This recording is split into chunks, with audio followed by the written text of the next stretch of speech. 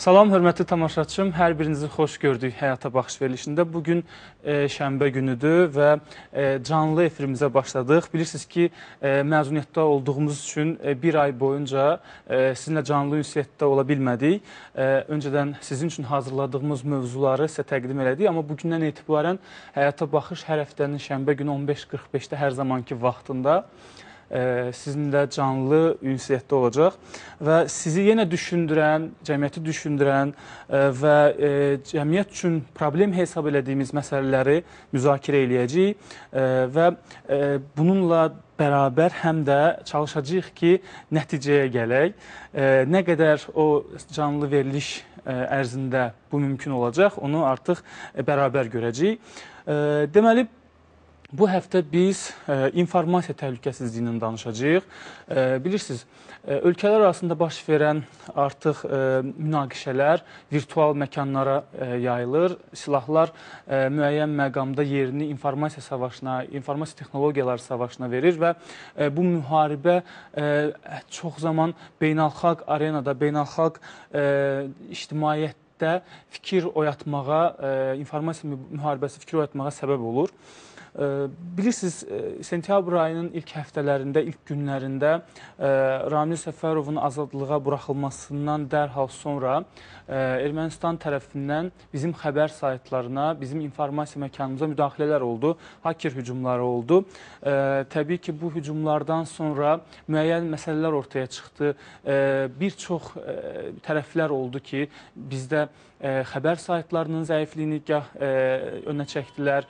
Bəzi insanlar ümumiyyətlə bunun mümkünsüzlüyünü və sadəcə xəbər saytları üçün reklam olduğu, özlərini reklam edə bir çox məqamlar ortaya çıxdı və həqiqətə uyğun və bir çox insanlar da doğrudan da bunun həqiqətə uyğun olduğunu qeyd elədilər ki, və hücumlar var.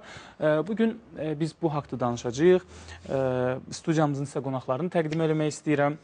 Vüsalə Mahir qızı APA Media Qrupun baş direktoru, Rəşad Əliyev Xəzər Universiteti İnternet İnstitutunun direktoru, Rasim Mahmudov İnformasiya Texnologiyaları İnstitutunun əməkdaşı və Cahid İsmailoğlu IT üzrə ekspert informasiya texnologiyaları ən azından ə, bizim ekspertlərimiz burdadır. Ə, xəbər saytına olunan hücumların ən azından tərəfi burdadır. Zərər çəkən. Zərər çəkən burdadır və bunun elmi tərəfini və hüquqi tərəfini bizə izah edəcək tərəf də burdadır. Çalışmışıq ki, bütün tərəfləri əhatə eləyək. İlk olaraq mən zərər çəkəndən başlamaq istəyirəm. Nə baş verdi Vüsalə xanım? Baxın, xəbər hadisədir, bu bir hadisədir və bütün dünyanın diqqəti təbii ki, Azərbaycanda olacaq. Azərbaycan xəbər saytlarına axın çox olacaq və bu axından e, təbii ki, e, qorunmaq da vacibdir. Bilmək olmur ki, bu axın doğrudan da IP-lərin e, çox istifadəçiləridir bu, yoxsa hücumlardır daha çox. E, siz necə qiymətləndirirsiniz? Ümumiyyətlə, bu həmin ərəfələrdə nə baş verdi? Bilirsiniz, əvvəla onu deyim ki, e, təbii ki, Azərbaycanda e, indi mən istəyərdim ki, bizim bu verilişimizdə rəsmi tərəflərdə olsun. Hı -hı. E, bizim hamımız məsələlərlə bağlı dəfələrlə fikirlərimizi deyirik, istəyir biz olaq, istəyir e, Milli Elmlər Akademiyasının müvafiq institutu olsun, istəyir də ekspertlər olsun. Həmmimiz deyirik ki, müəyyən problemlər var, müəyyən texniki çatışmazlıqlar var. Bu işlə bağlı e, belə deyək, vahid bir strategiya ortaya qoymağa lazımdır. Onu elə biz yəqin ki, birinci ondan başlamalıyıq ki, e, bu Azərbaycanın virtual məkanı, yəni virtual Azərbaycana olan hücumdur, istənilən hücum, virtual Hı -hı. Azərbaycana olan təcavüzdür və e, bu gün Azərbaycan, e, yəni bizim iki Azərbaycanımız var, o cümlədən iki dünya var, virtual dünya var və biz bu dünyada yoxsa deməli o Hı -hı. virtual dünyada olan virtual Azərbaycan var və real Azərbaycan var. Bu e, torpaqlarımızı e, qoruyan ordumuza ayrılan diqqət qədər eyni zamanda bu virtual sərhədlərimizin də qorunmağına diqqət ayırmalıyıq. Dəxli yoxdur. Orada da, burada da təcavüz təcavüzdür. E, amma e, eyni zamanda da bizim e, hər iki aspektdə, yəni həm orada, həm də burada e, özümüzün keyfiyyətli kadrlara ehtiyacımız var. Özümüzün yaxşı e, tutumu olan belə deyək ki, mütəxəssislərə və texnikaya ehtiyacımız var. Həmin günlərdə e, bu ikinci ikinci və üçüncü dəfə yanılmıramsa Azərbaycan interneti belə bir vəziyyətlə üzləşdi. Bir dəfə e, Neft Akademiyasında hadisə baş vermişdi və o zaman məlum oldu ki, bizim saytlarımız e, yəni nəinki milyonluq, 100 minlik IP-lərə dözüm 100 minlik girişlərə, ziyarətçilərə dözüm gücünə malik deyil, yəni texniki cəhətdən malik deyil. İkinci dəfə belə bir hücum gəldi bizə. E, hələ yəni güman olundu ki, İran tərəfdən gəlir, belə deyək. Hı -hı. İrandan olunan hücum oldu və Azərbaycanın dövlət saytları bir neçə saatın içərisində çökdürüldü, bir neçə xəbər saytımız sak olundu və s. Və bu üçüncü bir e, yəni e, həmlə idi, belə deyək. Hı -hı. E, əlbəttə burada ekspertlər var, mütəxəssislər var. Mən onlardan yaxşı bilə bilmərəm nə baş vermişdi? Hı -hı. E, qəsdənmi idi? E, doğrudan mı bu qədər giriş var idi, bu qədər müraciət var idi, yoxsa e, bu bir hücum idimi? İndi hər halda mütəxəssislərin hamısının üstündə dayandığı məsələ bu idi ki, bu hücum idi, süni şəkildə yönləndirilmiş bir şey idi. Yəni milyonlarla IP-nin birdən-birə gəlməsi ki, Hı -hı. E, dözə bilmirdi serverlər. Bu mümkün deyildi. Hər e, mən bunun siyasi tərəfini deyə bilərəm bir xəbərçi kimi. Əlbəttə ki, bu hadisənin dərhal Ramil Səfərovun Azərbaycana qaytarılmasından və Ermənistanın o cür qıcıqlanmasından sonra baş verməsi təsadüfi deyildi və xüsusi olaraq o halda ki, Azərbaycanın yalnız e, belə deyək, informasiya blokadasını yayan xarici dilli media qurumları hədəf alınmışdı. E, AP agentliyi idi, Vesti Yaz idi, e, Deyaz, e, Trend, e, First News e, saytları idi, Disput Az e, forumu idi. Bunlar əsasən hədəf alınmışdı. Təbii ki, onlarla eyni serverdə olan digər saytlara da nəysə bir hücum ola bilərdi. Deyək ki, məsələn, Turba Az kimi, amma əlbəttə ki, e, söhbət Turba Azın hədəf alınmasından getmirdi. Hər halda o Disput Azla eyni şəxsə məxsusdur və bir serverdə idi. Yəni mən belə güman edirəm.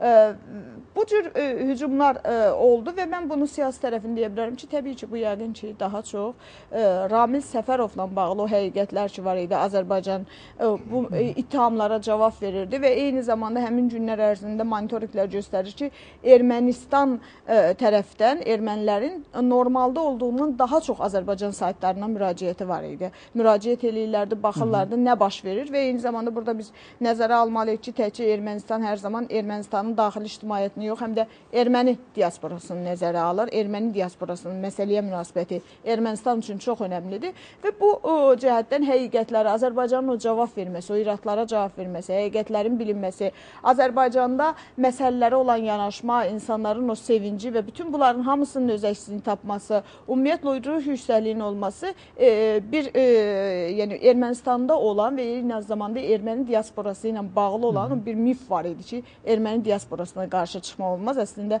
bizim zabitimizin ölkəyə qaytarılması, mifin sındırılması deməkdir ki, yəni erməni diasporası bəzən e, yaxşı işləyib erməni diasporasının elədiklərinin belə qarşısını almaq mümkün. Bu erməni və mən hesab edirəm ki, bəli, boyun almışdılar bəli, ki, biz hücum elədik və özləri də belə bir şey boyun almışlar. Yenə deyirəm, e, yaxşısını mütəxəssislər bilir. Mən də hesab eləmirəm ki, indiki halda Ermənistanda elə bir o cür davamlı hücumları eləyə biləcək bir data ə, mərkəz var, o cür bir sentr var və yaxud da ki, onlar eləyə bilər. Əlbəttə ki, bu ermənilərin eləməsi o demək deyil, bunlar bunu Ermənistandan yəni, eləyirlər. Fərqli ölkə, lab, ə, təbii ki, bu Rusiyadan da ola bilərdi. Mütəxəssislərdən biri yanılmıram açıqlama vermişdi ki, ə, Rusiyadan gəlir belə hücumlar olur. Amerikadan da başqa Hı -hı. yerdən də ola bilərdi. Yəni Ermənistandan olması deyildi. Amma məsələnin siyasi yanaşması Hı -hı. və eyni zamanda özlərinin də verdiyi informasiya göstərir ki, bu Ermənistandan olan hücumlardır və eyni zamanda təbii ki, istisna deyildi. Hər zaman olduğu kimi həmin vaxtda Hı -hı. daxildə də o hücumlardan istifadə eləyib,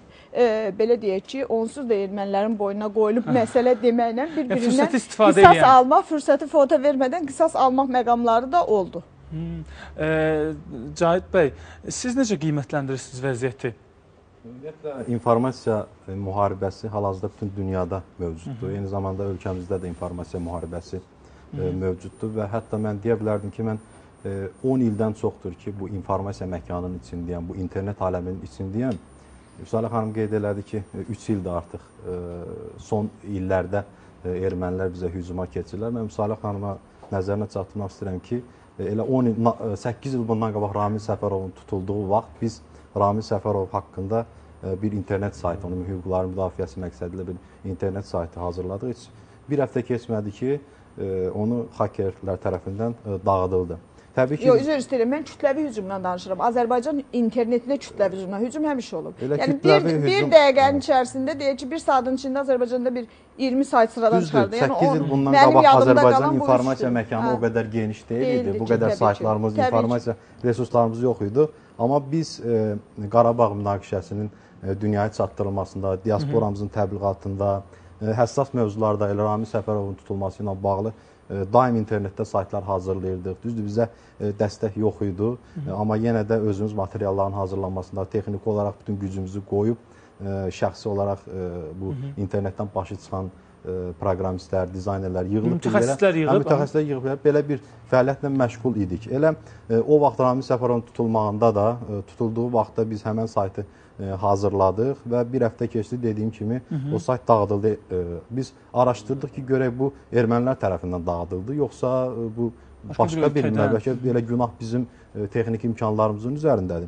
Amma o vaxtdan bəri e, düşdüyüm izin üzərində e, araşdırmaların nəticəsində gördüm ki, e, heç bir IP e, Ermənistanı göstərmir. Elə indiki hücumları da araşdırsaq texniki olaraq görərik ki, bunlar heç də Ermənistanla heç bir əlaqəsi yoxdur. E, Çünki Ermənistanın e, Salih xanım da qeyd elədi ki, Ermənistanın texniki imkanları buna e, cavab vermir. Ermənistanda heç düz əməlli mütəxəssis də yoxdur. Heç Ermənistanda e, yaşayan xalqın başı qarışıb özlərinin problemlərinə, yəni orada sırf internetlə məşğul olan, sırf sırf texniki olaraq özlərini e, inkişaf elətdirən, sırf bu sahə ilə məşğul olmaq üçün çox böyük texniki imkanlar, texniki savad tələb edir. Bu sadəcə olaraq ermənipərəst qüvvələrin e, Rusiyada muzlu, mən özüm belə adlandırıram, muzlu hakerlər e, tərəfindən daim həyata keçirilir. Hətta mən texniki olaraq belə bir araşdırma da göstərmişəm ki, ad da çəkə bilərəm ki, e, indi e, konkret faktlarla da danışa bilərəm ki, Rusiya Amerikada, Amerika Birləşmiş Ştatlarında bir studiya var ki, o studiyanı siz fəaliyyətinə görsəniz, o studiyanın portfolyosinə, gördüyü işlərə nəzər yetirsəniz, görəcəksiniz ki, bu studiyanın bütün fəaliyyəti erməni e, dırnaqarası genosidini bütün dünyaya çatdırmaqdır. Siz görərsiniz ki, onların e, portfolyosunda 20-30 sayt varsa, bu 20-30 saytın e, 29-u, əksər, yəni 90%-i həmin bu sahə üzrədir. Və e, onlar eyni zamanda tərkiblərində e, Amerika xaricdə yaşayan erməni proqramistlərini, e, ermənipərəst proqramistləri də cəlb edirlər və müəyyən bir qrup yaradıblar. Və həmin qruplar vasitəsilə e, bu istəklərinə, bu e, informasiya həyata keçirdirlər. Bəli, informasiya ciddi savaşı. yanaşırlar. çox İnformasiya ciddi müharibəsini bizdə hücuma keçən, hücuma keçmək e, adresi, ünvanı Ermənistan deyil. Bu ermənipərəst qüvvələrin həmən o Rusiyadan, Amerikadan, hətta Çindən də belə hücumlar gəlir Azərbaycana. Son dövrlərdə e, məsələn İranla e, olan münaqişələr, sözümüzün düz gətirməməyi artıq İranın da Azərbaycana qarşı belə bir qrupun yaratdığı e, yəqin ki, təsəvvür edək ki, məlumdur ki, İran belə bir qrup yaradıb və Azərbaycana qarşı bu proqramistləri, bu hakerlər, muzlu hakerləri daim istifadə edir. Və biz bunu araşdırmamalıyıq ki, bu kimdən gəlir bizə, necə gəlir. Bu hər zaman olacaq. Böyük güclü dövlətlər də daim bu təhlükə ilə üz-üzədir. Amerika Hə, kimi, necə BMT kimi, və, BMT kimi bir hə, qurumun, NATO kimi bir e, qurum? Pentagon kimi bir qurumun saytına müdaxilələr daim olur. Biz fikirləşməliyik ki, bu üsuldan necə qorunaq, necə özümüzü möhkəmlədək. Çox yaxşı. Ə, hələ mən onsuz da o məqama gələcəkdim və yaxşı ki, ə, Cahid dedi və bir də tezləşdirdi. Rasim müəllim, ə, dedi ki, Ermənistanın ümumiyyətlə informasiya texnologiyaları və bu kimi ə, imkanları çox məhdud ola bilər. Biz yəni ə, dəqiqliklə bəlkə də bilmirik hansı səviyyədədir, amma mütəxəssislər hər halda deyirsə, o zaman biz mütəxəssislərin sözündən ə, ə, bəhrələnib sual verək. Əgər yoxdursa, bizdə və xəbərlərdə istər ümumiyyətlə baş verən hadisələrdə deyilənlərə görə ki, bizdə çox yüksəlib, yeni avadanlıqlar, yəni güclü avadanlıqlar, amma hər zaman müdaxilələr qarşılaşırıq və bəzən ə, qarşısını almaqda bu hadisədəki kimi biraz zaman çəkir, zaman alır. Düzdür, alınır, amma ə, hazırlıqlı olmuruq anidən baş verir və biz onun qarşısını almaq üçün biraz çətinliyə düşürük. Bu texnologiyalardan yeni necə istifadə eləməliyik ki, biz davamlı hücumlara tab gətirə bilək. Ən azından qor, e, bundan yan keçməsək də bərpa eləyək işimizi və bizə təsir eləməsin. Bilirsiniz, e, bu cür hücumların tam şəkildə sığortalanmaq hələ mümkün deyil. Yəni bilirsiniz, hakerlər e, intellektual səviyyəsinə görə çox hazırlıqlı insanlardır. Yəni e, adətən e, texniki mühafizə sistemləri e, müəyyən təcrübəyə əsaslanır. Yəni müəyyən hücumlar araşdırılır, çözülür, onların xüsusiyyətləri və ona uyğun mühafizə sistemləri qurulur. Amma təsəvvür edin ki, e, internetin imkanları, informasiya texnologiya imkanları gün-gündən artır, genişlənir və bundan da neqativ e, məqsədlə istifadə halları daha çoxdur. Yəni bu cür cinayətkar qruplar daha çevik reaksiya verirlər və imkanlardan o məqsədlər üçün istifadə edirlər. Yəni bunun e, qarşısını almaq yəni heç bir ölkəyə hələ müəssər olmur. Tam şəkildə kimdən sığortalanmayıb. Ona görə də bu kim ki deyir ki, Azərbaycan bu məsələlər tam hazırlığı olmayıb, bu yanlış fikirdir. Yəni istənilən ölkə, hətta Amerika, Yaponiya kimi informasiya təhlükəsizlik sistemi daha yüksək səviyyədə olan ölkələr bunun qarşısını ala bilmirlər. Özdə bizdə təsəvvür edin ki, yalnız hələ söhbət e, qisas e, motivli hücumlardan gedir. Haker hücumlarının nəsə sındırılması, bu da e, siyasi motivlər daha çox önə çıxır, amma təsəvvür edin ki, digər ölkələrdə bu elektron kommersiya sistemlərinin inkişaf etdiyi, elektron banking sistemlərinin inkişaf etdiyi ölkələrdə Hı -hı. başqa, yəni məqsədli hücumlar var. Özdəki daha geniş miqyaslı da onların dəyən ziyanlar artıq milyardlarla ölçülür. E, məsələn, e, ötən ilin hesablamalarına görə bütün dünyada 400 milyard həcmində e, bu e, hücumlar nəticəsində ziyan dəyib, yəni zərər çəkənlərə. Yəni burada e, şpionaj məqsədləri var, e, burada e, pulların ələ keçirilməsi var, hansısa bir e, texnologiyanın mənimsələnməsi məsələləri var. Bunlar hamısı onu göstərir ki, hələ ki dünya e, bunun e, qarşısını almaqda, yəni ki e, etibarlı, yəni bir mühafizə sistemini hazırlaya bilməyib. Yəni bu bu gün e, dünyanın aktual problemlərindən biridir. E, Rəşad bəy, bütün dünyamı anidən belə bir şeylə qarşılaşa bilərdi? Tutaq ki, biz deyirik ki, heç kim sığortalanmayıb, amma ən azından ə, inkişaf eləmiş ölkələr bu vəziyyətlə qarşılaşsaydı, sizcə ə, o da mı bizim kimi bu vəziyyətdə düşərdi, yoxsa o da onlar daha tezmi bunun öhdəsindən gələrdi və ya gələn hücumları daha tez ə, qarşı, qarşısını ala bilərdilərmi? Ümumiyyətlə Azərbaycan bizim informasiya texnologiyaları sahəmizi necə qiymətləndirirsiniz? Əslində mən bu sahədə çoxdandır çox fəaliyyət göstərirəm və kifayət qədər də yəni belə praktik işlərlə də rastlaşmışam və ə, gücümüz çatan qədər operativlərsə hətta qarşısında almışıq. Ə, bu növ ə, hücumların əslində belə deyək ki, bu bir ə, təbii fəlakət kimi bir şeydir. Yəni Hı -hı. heç bir ölkə və ya heç bir dövlət ona ə, qarşısını almağa yəni ki, sığortalamır və ya zəlzələdən heç kəs hazır deyil. Ən azından bunun qarşısını almaq üçün ə, yəni çıxış yolları var. Yəni bu zəlzələ olanda fəlakətdir məsələn. Bu bu vaxtda insanların belə deyək də, yəni xəsarət almasının qarşısını almaq üçün müəyyən həllər var. Ya bizdə də əslində elə o, o strukturu bizim müəyyən saytların ya bir çox saytların yəni deyə bilərdim. Düzdür, yəni müxtəlif o, layihələrdə var ki, onların qarşısı alınıb. Ya buna hazırlıqsız olmasıdır. Çünki belə deyək, bizim ə, təbii fəlakət kimi indi hal-hazırda yəni Məsəl üçün sözünüzü kəsim, başqa bir sualla davam elətdirək. Bayaq Vüsalə xanım dedi ki, 3 ildən bəri var olub, və ə, misallar da çəkdik ki, hansı dövrlərdə olub. Ə, ən azından bu hadisə Ramil Səfərovun azadlığa buraxıldığı vaxtda bəlkə də texniki olaraq biz hazır olmalıydıq buna, gözləməli idik buna. Yəni ə, nə əngəl oldu bizə Yoxsa biz bilmədik ki, Ramil Səfərov sabah azadlığa buraxılır. Ta ki biz sabah başqa şeydir bilmirlər. Seçkidə yəni, məsələn biz hazır olmağa Təbii çalışırıq ki, həmişə. Hı -hı. Əvvəlcədən bununla bağlı şüur, axı Ramil Səfərovun azadlığa buraxıldığını heç kimsə bilmədi ki, onu. Hazır yəni hazırlıqsız mı yaxalandıq? Əlbəttə o texniki göstəricidir buna hazır olmaz. Bu hər hər gün, hər zaman, hər an hazır olmaz. Hər an o hazır olmaz. Gözləyək ki, Ramiz Səfərov azad olar. Xeyr, bir var ki, bir var ki, bilirsiniz ki, sizin e, serveriniz normal halda bunu işlədə bilir. Bir də var ki, siz bilirsiniz ki, ta ki bir hadisə baş verə bilər. Artıq burada proqramçıları artırılır. Hər an onlar Təbii serverin qarşısında əyləşirlər. Daha böyük bir server götürürsüz. Backuplarınızı biraz daha çoxaldırsınız ki, tutaq ki, burada hakerlər fiziki Bu backup ə, yəni, başqa bir yerə qoyursunuz fiziki olaraq. Yəni bir bilirsiniz ki, bir problem qarşısındasınız. Ümumiyyətlə mən belə bir şey ilə sual vermək istəyirəm ki, məsələn, APA İnformasiya Agentliyi Azərbaycanda ən böyük informasiyanı yayan ə, agentliklərdən biridir. Və bu informasiyanın yayılması çox həssas bir məsələdir. Təbii. Sabah sizin ə, agentlikdə elə bir informasiya yayıla bilər ki, cəmiyyətdə çox böyük bir təşviş yarana bilər, rezonans hə. yarana bilər. Bu həmin bu informasiya təhlükəsizliyi deyilir. Yox, bu başqa bu bir şeydir. Bu həmin o məsələnin başındadır yəni. Başa düşdüm sizə. Yenə e, deyirəm, biz buna hər zaman Məsələn, hazırıq. Sizin informasiya agentliyinin saytları e, texniki olaraq e, təhlükəsizliyi e, monitorinqini keçirtmisiniz. Bunun üçün müəyyən proqramlar var, müəyyən xidmətlər, e, xidmətlər var, ki, xarici ölkələrdə elə hazır mən bir dənəsini sizə e, verilişdən sonra göstərərəm həmin saytda. E, Mən məsələn APA İnformasiya Agentliyinin bura gəlməmişdən əvvəl saytını və Lent az saytda sizə məxsusdur. Onu da bir texniki olaraq sadə bir proqramdan monitorinq keçirtdim və gördüm ki, sizin saytın serverinə hələ söhbət getmir. Hələ serveri monitorinq eləsək başqa şeylər bəlkə də çıxar. E, Sadəcə olaraq sizin sırf e, APA İnformasiya Agentliyi Lentazın e, proqram təminatından, həmin xəbər saytının proqram təminatından istənilən qədər e, açıqlar, istənilən qədər boşluqlar adi sadə sadə bir monitorinqdə üzə çıxdı. Siz bu monitorinqləri keçirdinizmi? Yəni bu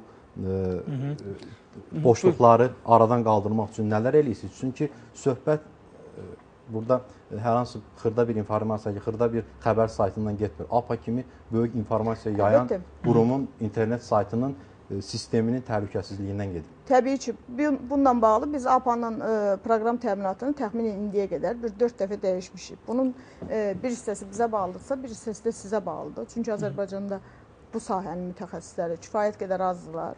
Onların qiymətləri kifayət qədər bahadır və onların bir çoxu kifayət qədər məsuliyyətsizdirlər. Onlarla iş görmək olmur. Və bütün bunların hamısı gətirir ona çıxarır ki, siz onunla bağlı ya xaricdə mütəxəssislər axtarmaqla məşğul olursunuz, ya bu işlərin təkmilləşdirilməsi üçün müəyyən qədər vəsait sərf eləməlisiniz. Çünki Azərbaycanda media qurumlarının indiki vəziyyəti bəllidir. Az, e, yəni hər kəs bilir ki, Azərbaycan media qurumlarında e, maliyyə vəziyyəti nə cürdür? Tutaq ki, bu me, e, Azərbaycan media qurumu Rusiyanın, Amerikanın media qurumları qədər vəsait xərcləyə bilməz bu sahəyə. Bu sahə kifayət qədər bahalı bir sahədir və bu işlərin görülməsi də kifayət qədər böyük vəsait tələb edən Yox, işlərdir. e, Ona bir bu yəni vəsaitin üzərinə atmaq lazım Yox. deyil. Sizdə Danışa bilərsiniz. Sizdə belə bir e, ştat mövcuddurmu? Yəni məncə e, təklif edirəm ki, belə böyük informasiya, böyük qurumlarda, e, böyük informasiya e, təhlükəsizliyi baxımından böyük çəkisi olan qurumlarda belə bir departament yaradalar. Sırf IT departamenti. İndi Əlbəttə bu var. dünyanın inkişaf edən ölkələrində bəli. Yəni, O IT departamentində olan işçilər, proqramistlər daim bu işlə məşğul olurlar. Daim sizin e, indi əksər saytlar sistemi yazırlar, yükləyirlər ora. Deyirlər vəssalam, mənim saytım hazırdır və bir 5-6 il işlədəcəm də bunu. Amma o demir ki, gün, hər, hər gün informasiya texnologiyaları Bəli. yenilənir. Hər gün yeni sistemlər çıxır. Bu Salih xanımın o dediyi kimi bir neçə yəni adamın olması, ekspertin olması və s. bu əslində Azərbaycanda bu sahədə olan ekspertlərin azlığına gətirir. Bu da sonda təbii ki, o ekspertlərin müəyyən ölkələrdə bir praktika yığması və ya müəyyən şeylə məlumatlar yığmasından gətirib çıxarır. Bu sahədə bizə kifayət qədər yəni kadr boşluğu var. Yəni mən hal-hazırda özüm Xəzər Universitetində dərs deyirəm və ə, yəni informasiya təhlükəsizliyi mövzusunda mən maraqlanmışam. Yalnız bir dənə Bakı Dövlət Universitetində bu sahədə ixtisas var. Yəni Tətbiqi o da tətbiqi riyaziyyatın içində, yəni informasiya təhlükəsizliyi o da çıxır? az kadrlar çıxır. Yəni onlar çoxu qas. Yəni o ki, xaricə gedir. mən Rasim müəllimdən soruşacağam, amma sizə hər ikinizə başqa bir sual verim. Ca- ə, Cahidin Müsayə xanıma verdiyi sualdan yaranan bir sualdır. Ə, ə, Əgər siz monitorinq apardınızsa, deyirsiniz APA saytından bağlı, ümumiyyətlə yəqin ki, ə, bunu artıq qiymətlərin dəyər verə bilərsiniz. Yəni suala cavab verə bilərsiniz hər ikiniz də. Azərbaycanda xəbər saytları ümumiyyətlə nə qədər ə, texniki hazırlıqları, hazırlıqlığı və ümumiyyətlə ə, çoxlu sayda IP-lərin girişinə davam gətirəcək, ə, bizdə söhbət ə, milyonlardan gedirsə, ən azından olmasa minlərlə IP-lərə davam gətirə biləcək. İndi böyük saytlar var, Başa təbii ki, düşdüm. onları ayırırıq. Ümumiyyətlə ümumilikdə götürək. Nə qədər bunun üstündə işləyirlər, nə qədər əziyyət çəkirlər və nə, nə dərəcədə qiymətləndirirsiniz Ümumiyyətlə informasiya təhlükəsizliyi iki istiqamətdə mövcuddur. Biri var zərərli informasiyadan qorunma, bir də var mühüm informasiyanın, mühüm əhəmiyyəti olan informasiyadan qorunması. Azərbaycan xəbər saytları sferasında bu iki istiqamətdə ciddi şəkildə pozulur. İndi istənilən qədər nə qədər desəniz xəbər saytları var. Biz burada barmaqla saysaq e, Yəni- Azərbaycanda yəni, fəaliyyət göstərən 50-dən çox xəbər saytı var. Bunların əksəriyyətinin işi ancaq zərərli informasiyaların yayılmasıdır. Bu gün mövzumuz informasiya təhlükəsizliyidirsə, Məsəl üçün necə elə bu da zərərli? informasiya təhlükəsizliyinin pozulmasıdır. Zərərli informasiya məsələn hər hansı bir şəxs haqqında ağla sığmaz, Hə, hər hansı bir jurnalistin fantaziyalarından irəli gələn informasiyaların yayılması da təbii bu da informasiya təhlükəsi. Tək o deyil ki, haker ora hansısa bir informasiyanı ata. Bu jurnalist gedir, yatır yuxusunda nə görür, gəlir onu yazmağı da Aha. ə, bu bu da informasiya təhlükəsizliyinin pozulması da ciddi. Və ikinci məsələ isə həmin saytların texniki olaraq informasiyalarının qorunması, necə ki ciddi saytlardan söhbət gedir, Lentazdan, APA-dan, ə, Trenddən, nə bilim belə də ə, böyük saytdan. böyük saytlardan söhbət gedir. Bunlar isə öz informasiyalarını qorumaq iqtidarında mən deyə bilərəm ki, Azərbaycanda iqtidarında deyillər. Çünki bunlar həm sistem cəhətdən zəifdirlər, həm server baxımından zəifdirlər. Bunlar daim öz Razısınız Sərxan bu ittihamdan ki, yəni bu- bu hazırlıqlı deyillər ümumiyyətlə. Bu məsələnin də istiqaməti var. Bu məsələnin də iki istiqaməti var. Biri var siz hacker hücumundan sığortalanmaq, özünüzü hacker hücumundan ə, təhlükəsizliyini təmin etmək. Bir də var siz böyük kütlələrə, böyük ə, axına Davam özünüzü hazır, Hazır davam gətirmək, özünü hazırlamaq. Siz də eyni fikirdəsiniz, Cahit Təbii ki, eyni fikirdəyəm. Bilirsiniz, sayt məsəl üçün hal-hazırda bunun müəyyən bir sayta 100 min adam girir. Bunlar hazırlaşırlar bu saytı çoxu 150 min adamlıq.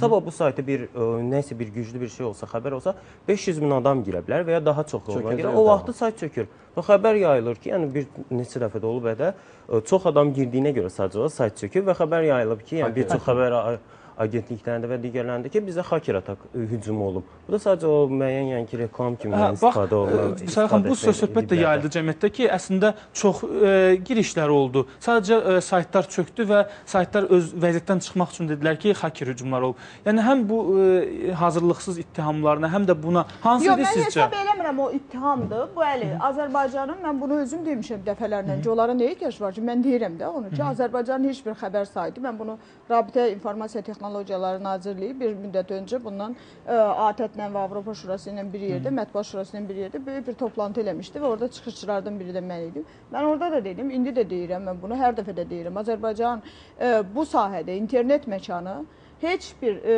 formada bu məsələlərə hazır deyil. Azərbaycan internet məkanının milyonluq girişlərə hazır deyil. Elə girəndə özüm dedim, onların dediyini mən tam da filan hesab eləmirəm və bu bizim qədər onların da ayıbıdır. Yəni bu çətin Və- məsələdir ki, və bunu Əlbəttə, bu çətin məsələdir. Çünki bunun üçün böyük pullar lazımdır. Bəli. Pul tapmaq mediada çox çətin məsələdir. Siz məsələn Hə. e, bir yerdən başqa bir yerə getmək üçün agentliyinizə bir avtomobil almısınız. Əlbəttə almışam. Həmin avtomobilin e, onda onda e, Xeyr, belə deyək, siz yox, siz- yarısını Yox, e, siz də belə belə deyək. yox, Yox, mən bilmirəm siz. Cahid müəllim hansı saytlara baxırsınız və indi o saytların da adını deyərsiniz, baxarıq onların bir texniki təminatına da, xəbər təminatına da. Ə, Biz ə, hər ay bu sahəyə minlərlə dollar Ya mən xərcləyirik. APA qrupu haqqında məlumatım var, yəni görmüşəm onları. Minlərlə dollar xərcləyirik. Bir müddət əməkdaşlıq da eləmiş görmüsüz. Biz o bu məsələyə minlərlə dollar xərcləyirik. Bizim ə, ən azı Azərbaycanda bəlkə yəqin ki, yeganə xəbər şirkətiyik ki, onlayn mediada 4-5 yerdə ə, hətta fiziki olaraq belə server qoyub backup saxlayırıq. Azərbaycanda xəbər saytları var ki, siz onların ümumiyyətlə backupını silərsiniz bircə yerdən. Ser eyni serverdə backup saxlayırlar. DNS-lə e, DNS serveri ilə xəbər bilirəm. serveri eyni yerdədir. Siz bunu bilirsiniz, özü böyük xəbər saytlarıdır, mən də bilirəm. Yəni bu sahəyə biz minlərlə dollar pul xərcləyirik. İndi mən sabahdan sakit oturmuşam, siz deyirsiniz bəlkə mən bu sahədən xəbərim yoxdur. amma Azərbaycan xəbər Yox, siz siz həm deyirsiniz ki, bu həm deyirsiniz pul xərcləyirik, həm deyirsiniz ə, forma bilmirik. xəbərdar olanlardan biri özümü hesab eləyirəm. Bi- Biri də getdi artıq sahədən də qalmayıb. Bu sahədə, bu məsələ ilə bağlı e, dövlətin bizə dəstək olmasına ehtiyac var. Və e, bizi qoyduq kənara. Tamam, özəlik, bəli, bu mən sahibkaram, mən buradan pul qazanmaq, reklam qazanmaq istəyirəmsə bu məsələdən istifadə etməliyəm. Mən sizə başqa bir şey deyirəm. İranın hücumu zamanı xəbər saytları deyildi, dövlət Dövlətin saytları. dəstəyinə qaldıqda mən bir şey deyim ki, dövlət 27 ə, ISO standartları var və digər standartlar var da bizdə. 27 ilə başlayan standartlar var, ə, 27001 və s. yəni informasiya təhlükəsizliyi mövzusunda ə, aparılmış standartlardır və dövlətimiz bu standartları hal-hazırda məndə kitab da var, istəsəz mən göstərə bilərəm onu. O kitablarda, yəni bir neçə kitab var, hətta Azərbaycan dilinə onlar tərcümə olunub. 27 ilə başlayan, yəni standartlaşdırma və metrologiya komitəsi Bəli. və ə, dövlət orqanları tərəfindən, yəni bircə bir yerdə yəni olmuş layihədir və bu layihələri bunlar ə, yəni ki, müəyyən, yəni təkcə sizdən söhbət getmir və ya siz bilirəm ki, o yəni APA qrup olaraq kifayət qədər yəni o işləri qarşısına alsınız. Digər qruplar, yəni saytlar və hamısı əslində o standartların yəni ən azından qarşısını alma, ə, yəni ki, o standartlara riayət etməlidirlər. Bunlar yəni təkcə ə, saytın qarşısı alınması getmir. Digər həmçinin ə, sosial şəbəkələrdə olan profillər, e-maillər və digərlərin yəni ki, ə, sındırılmasının qarşısını alması. Çünki informasiyadır. Ə, Elə şey var ki, bu ə, bu informa ə, siz xəbər agentliklərsiz, bu ha, kim daha tez informasiyanı Bəli. verməsi məsələsi var da. Ola bilər ki, sizin ə, şəbəkənizdə kimsə digər, yəni ə, rəqib şirkətlərimizdən və ya rəqiblərimizdən biri oturub sizin şəbəkədə izləyir ki, görün bu kimsə nəsə məlumat yayıb və bunu sizdən qabaq götürüb 1-2 dəqiqə ilə də, yəni qabaq verib o kifayət qədər reytinq bilər. Əslində bu informasiya təhlükəsinin yəni ki, standartlardır. Dövlət o tərəfdən müəyyən ə, işlər görüb standartlaşdırmasını hazırlayıb və s. Sadəcə o növbəti mərhələlərdə, yəni mən bilirəm ki, dövlətimiz onun da yəni üzərində, üzərində çalışır. Audit aparılması lazımdır. Çünki biz bir qurum müəyyən ekspertlər yığıb audit kimi, yəni gəlib yoxlamalıdır ki, siz bu qaydalara riayət edirsiniz yoxsa Mən yox. ə, bəli, bu məqamda var əlavəniz var. Kütləvi informasiya vasitələrinin dövlət yardımı fondu var. Bayaq Sarı konfransda da məsələ səsləndirildi ki, onlar daha çox ənənəvi media, yəni ki, yardıma üstünlük verirlər. Yəni axı Daha elektron çox media, medianın media. mətbuat, yəni ki, o fondlar e, o vəsait ayrı onlar üçün. Amma bu gün elektron medianın daha çox, yəni dirçəlməsinə, yəni ki, e, yeni addımlara da daha çox ehtiyac var və nəzərə almaq lazımdır ki, Azərbaycanın medianın gələcəyi elektron media ilə bağlıdır. Yəni ki, ənənəvi media artıq öz e, missiyasını başa vurmaq üzrədir. Ona görə də bu vəsaitlər daha çox yardımlar ayrılmalıdır elektron mediaya. Çünki o növ, ilk növ, o nədən olar təhlükəsizlik məsələlərinin təmin olunmasına. Məqamı gəlib deyəsən.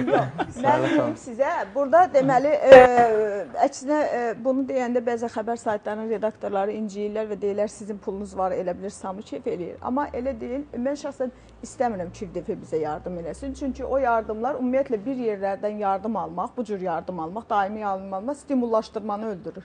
Bizim sahəmizdə indi yaxşı bir bazar ə, rəqabəti yarana bilir. Reklamlar axır artıq bizim sahəmizdə kütləvilik yaranır. Birazdan yəqin ki, internet televiziyalarının rəqabəti başlayacaq və yaxşı reklam alma, yaxşı pul qazanma imkanı var. Kim istəyirsə gələ bilər sahəyə. Mən nəyi demək istəyirdim ki, bizə e, necə yəni yardım eləyə bilərlər dövlətin yardımı. Birinci e, bu işlə bağlı e, bu işlə məşğul olan adamlar e, məsələn bizdə qəzetçilikdə də çox təəssüf ki, belə idi və qəzetçiliyin vəziyyəti də ona görə mən hesab edirəm bu gün bu gündədir ki, e, yaxşı yazı yaza bilən adam Hı -hı. hesab edir ki, o artıq qəzet baş redaktoru ola bilər. Əslində qəzet baş redaktoru yaxşı menecer olmalıdır. Yəni yaxşı, Yaxşı qəzet sata bilən adam adam olmalıdır. olmalıdır, əlbəttə. Yaxşı qəzet sata bilən, yaxşı qəzetə reklam ala bilən adam olmalıdır. Nəinki yaxşı yaza bilən adam. Sən yaxşı qəzet satsan və sənin yaxşı pulun olsa, onsuz da yaxşı yazanlar gələcək.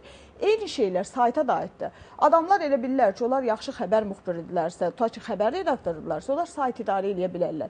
Və bu gün gedin açın monitorinq eləyin. Azərbaycanda əks- əksər əks- əksər xəbər saytlarının re- redaktorları IT mütəxəssisinə IP mütəxəssisi deyir. Yəni vəziyyət bu yerdədir. Gedin Yəni, baxın. IT, e, yəni ataka hacker hücumuna IP hücumu deyir. IP hücumu.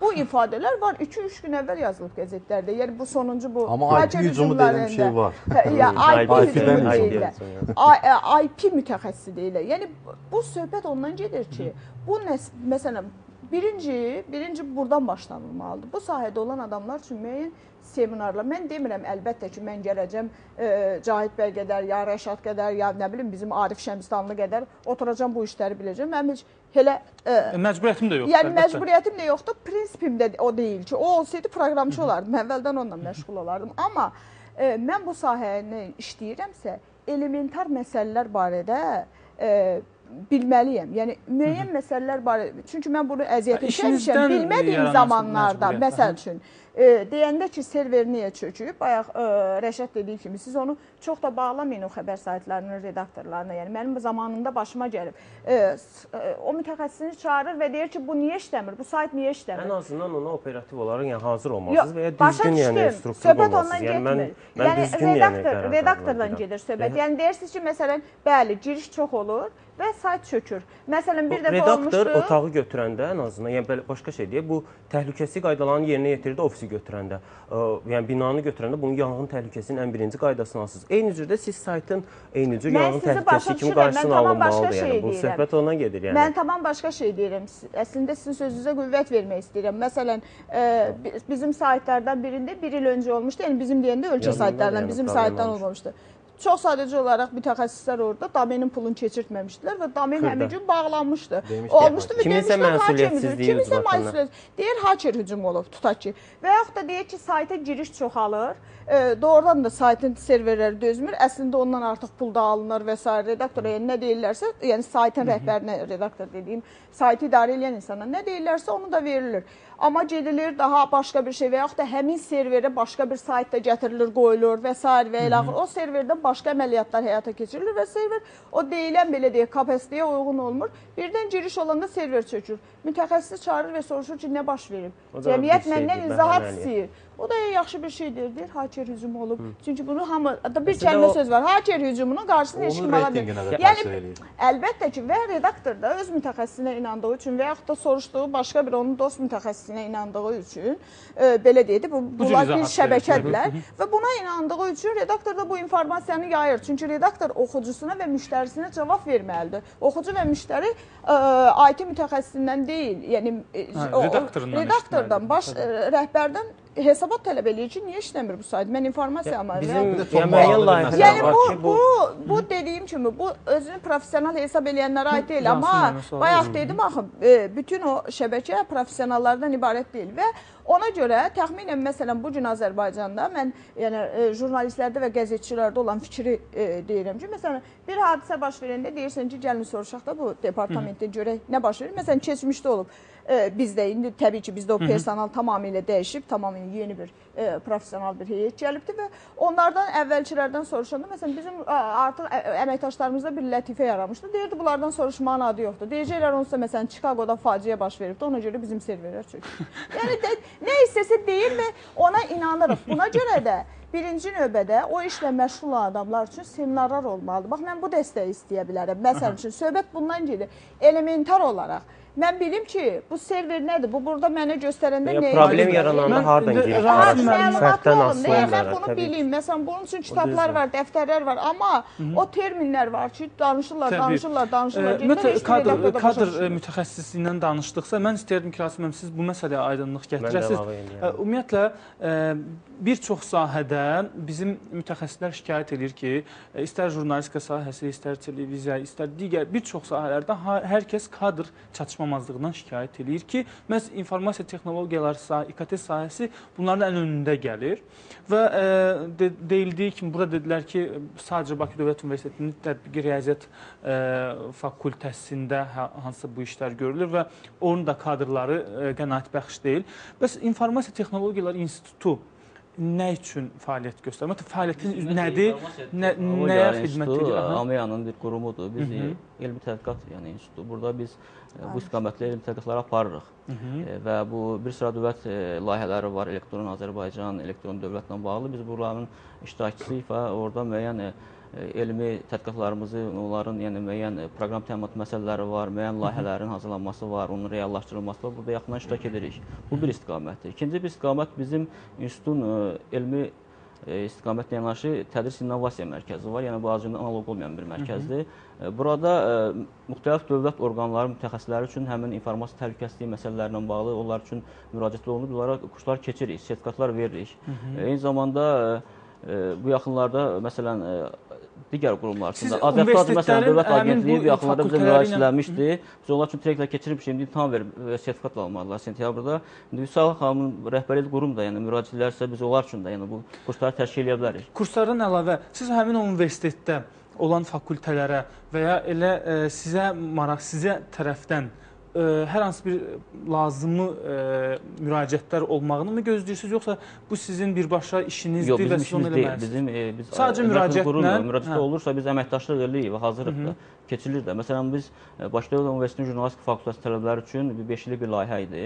Aha. E, informasiya cəmiyyəti əsasları kursunu keçirmişik. Yəni siz Bizim- mütəxəssis yetişdirmirsiniz. Sadəcə Yetişdiririk. Yəni Hə. söhbət gedir biz e, bütün e, məsələn aspirantlar, dissertantlar, söhbət ondan gedir. Əgər yetişdirirsinizsə niyə bu bu gün bu kadr Yox, onlar çatmır? Bir araşdırmacı institutun, bir mütəxəssis institutun bu gücü tutacaq məsələ deyil bu. Yəni mütəxəssis bilirsiniz Yox, mi? praktik- Bu biz cəmiyyətin bütün təbəq bu gün biz e, əgər informasiya cəmiyyəti qururuqsa, elektron dövlət qururuq və elektron dövlətin vətəndaşı deyirik ki, elektron e, e, vətəndaş olmalıdır. Bu gün vətəndaşın da olan olan tələblər var. İnformasiya mədəniyyəti məsələləri var, onu mənimsəməlidir. O vətəndaş artıq e, fərqi yoxdur. İstər media sahəsində olmasın, istənilən sahədə artıq bu proseslə üzləşir, hər kəs problemlə üzləşir. Artıq heç kim, yəni ki, artıq e, belə deyək də, e, Avropa ölkələrində çobanlar da elektron e, vasitələrdən istifadə edir. Yəni ki, öz işlərini görürlər. Hə, Qısa görə- bir son sual verim, Aydındır. Bəs bir mütəxəssis kimi e, bizim e, burada digər e, şəxslərin, qonaqlarımızın dedikləri bu fikrinə razısınızmı ki, e, Azərbaycanda bu sahədə mütəxəssislər çox azdır, hətta barmaqla sayacaq qədər. Yox, barmaqla sayacaq qədər demək olmazdı. Yəni mütəxəssislər çoxdur. Yəni təl- tələbat tələb olunan sahələr çoxdur. Ola bilər ki, media sahəsində hər hansı bir qurumda bu az olsun, amma artıq bunun ə, bilirsiniz ə, ümumi respublika səviyyəsində bu məsələlərə tələbat artır, sürətlə artır. Yəni əgər biz hər bir sahədə informasiya texnologiyalarının imkanları, ə, tətbiq imkanları genişlənirsə, yəni internetin imkanlarından istifadə olunursa, artıq tələbat sürətlə artmalıdır. Bu da ilk növbədə təhsil sistemi səviyyəsində nəzərdən keçirilməlidir ki, onlar artıq bu ə, mütəxəssislərin məsələn planlaşdırmada nəzərdən keçirilməlidir. Bizə hansı sahəyə görə mütəxəssis lazımdır? Məsələn, bizə təsəvvür edin ki, elə sahələr var ki, o qədər də ə, ehtiyac yoxdur, amma onu necə planlaşdırırlar məlum deyil. Aydındır. Qısa reklam fasiləsinə ayrılacağıq. E, reklam fasiləsindən sonra hörmətli tamaşaçılarımız mövzumuzun müzakirəsi davam eləyəcək və e, bu verəcəyim hələ çox suallar var və maraqlı söhbət sizi qarşıdakı hissədə də gözləyir.